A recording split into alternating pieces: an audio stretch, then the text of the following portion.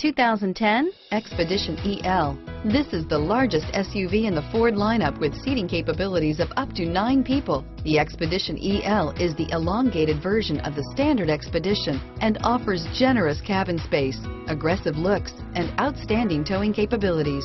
This vehicle has less than 145,000 miles. Here are some of this vehicle's great options. Four-wheel drive, power lift gate, leather-wrapped steering wheel, rear view camera, power adjustable pedals, rain sensing wipers, tire pressure monitoring system.